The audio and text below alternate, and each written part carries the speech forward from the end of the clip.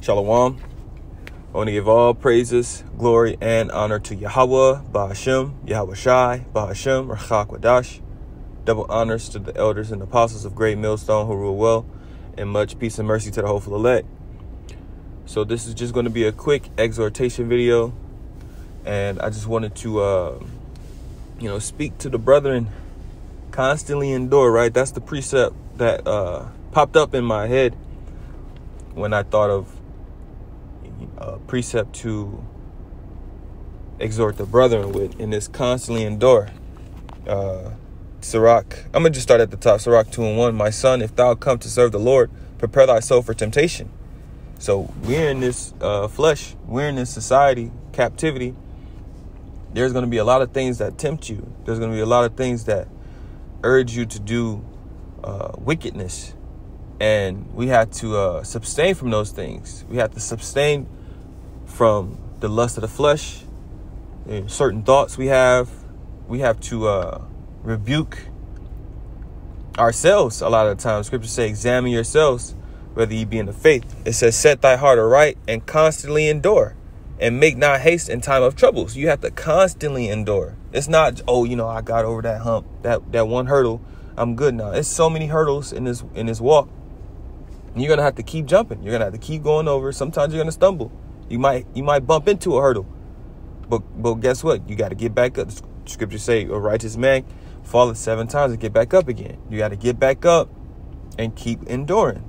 Continue to endure. Continue to strive for the mastery. Continue to strive to be uh, closer to Yahweh, Bahashem, Yahweh Shai, that we may receive that salvation you want that salvation. You want that deliverance. You want to be protected in uh, in in the day of Jacob's trouble. Because a lot of these people are going to die, man. You you have people around you right now that's going to die. A lot. The scriptures say that uh, a thousand at thy left, you know, and uh, um, ten thousand at thy right, roughly paraphrasing but there's gonna be thousands of, of bodies land on the ground because why? They they they have walked in great pride. Especially two thirds of Israel, they they won't repent. So what? The Heavenly Father is going to bring judgment on this earth. So we have to endure now. We have to endure the now. And then we're gonna have to endure the latter end. Right? You can't fold when when you start seeing people die. You can't fold when when when you ain't ate in two days and you think, oh man, is the Lord really dealing? That's doubt. Of course the Lord dealing with me. He just want me to fast right now. That's how you have to go about it. You have to understand that everything happens for a reason. Everything. Whatever's going on in your life, it's happening for a reason. Because you have to understand, Esau knows us. He knows what Jake want. He knows what Jake like. He knows how to uh, stir up emotions. So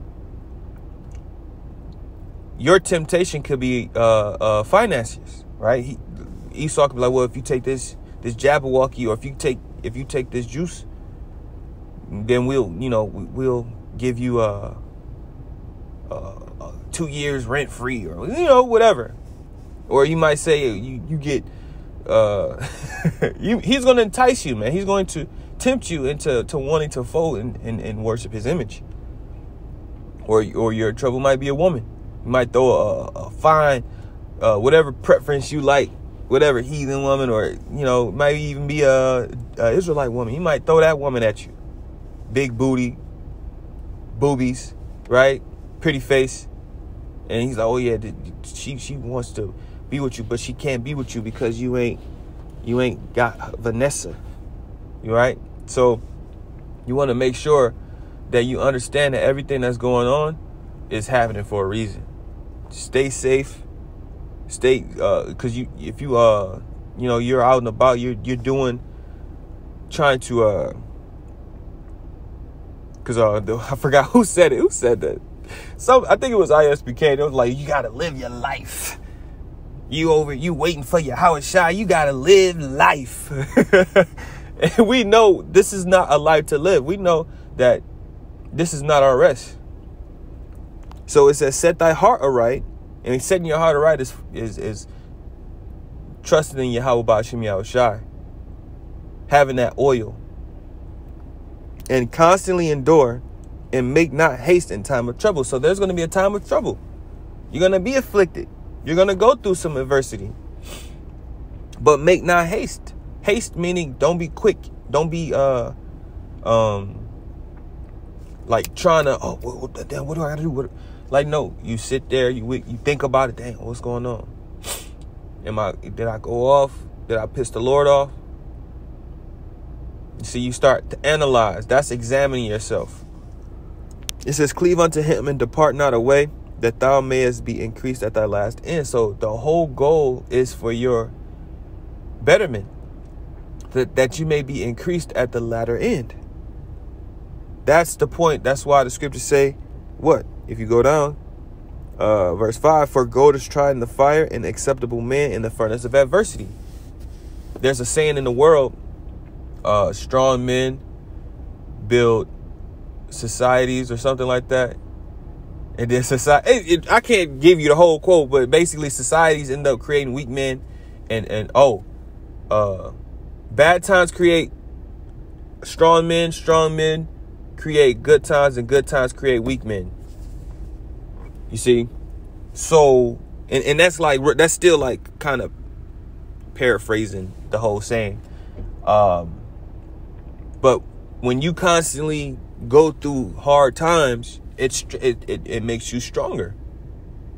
It makes you stronger. It, it makes you uh, uh, easier to adapt to certain situations. So the Heavenly Father is is is is molding you. He's building you up. So when the time really gets hard, when you can't just walk into a store and buy your favorite meal or go to the store and buy a new outfit, you can't just uh, um, go to the mall and just lounge around. There's going to be times where you won't be able to just sit back and drink and, and just, you know, have a good time. So we're entering into those stages. You have to understand this man already just announced a new so-called uh, variation. The Decepticon. So this thing is is is happening and it's not going to stop. He's going to uh, I was reading an article and it said that basically this new um this Decepticon all the previous Jabberwockies is is is is um basically useless.